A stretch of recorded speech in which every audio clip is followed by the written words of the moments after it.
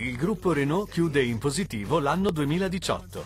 All'interno di un mercato in calo, il marchio francese si conferma attore economico importante nel nostro paese, la quarta marca di autovetture più venduta per il quinto anno consecutivo.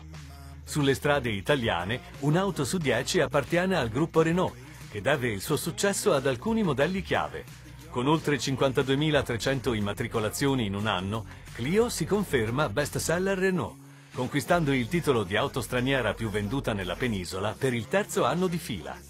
Al secondo posto si installa Capture, il B-SUV straniero più venduto nel nostro paese, mentre terza è Scenic, la monovolume compatta più richiesta in Italia.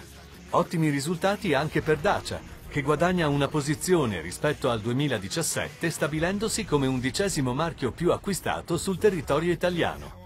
Dacia deve la sua crescita continua ai modelli Sandero e Duster. Quest'ultimo è il SUV del segmento C più diffuso tra i privati.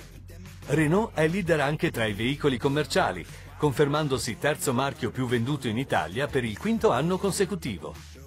L'obiettivo 2019 del gruppo Renault sarà quello di mantenere la propria quota di mercato attorno al 10%, ponendo al centro il cliente, ampliando l'offerta dei servizi post vendita introducendo nuovi strumenti digitali e concentrandosi sulla nuova mobilità. L'elettrico, in particolare, rappresenta una voce importante per quanto riguarda aziende e car sharing, dove i veicoli Renault coinvolti sono già 500.